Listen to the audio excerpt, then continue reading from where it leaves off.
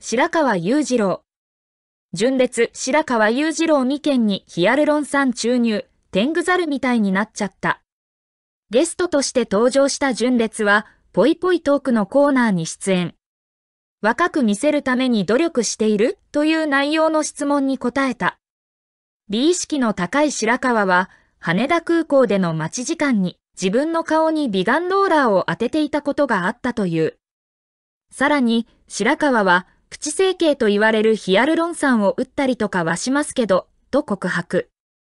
続けて、ほうれい線であったりとか、眉間の間って言うんでしょうか、ヒアルロン酸を打ち込んで。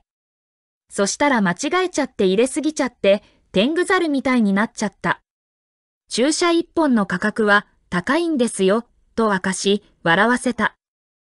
私のチャンネルを共有して購読するように。